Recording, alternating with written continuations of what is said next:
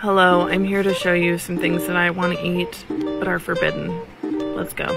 Let's start off with this watercolor palette. The paints look incredibly delicious. It looks like they would be the fanciest of Starburst flavors.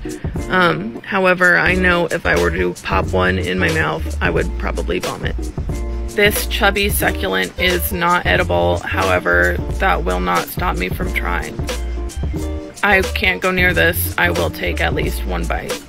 The only thing that is keeping me from eating these crystals um, is that if I bit down on one, my teeth would break apart and my dentist bills would be too high. But they look like they would taste incredibly delicious. This hamster looks like a marshmallow. Um, I would never hurt him. I would never actually eat him, but I do want to gently put him in my mouth.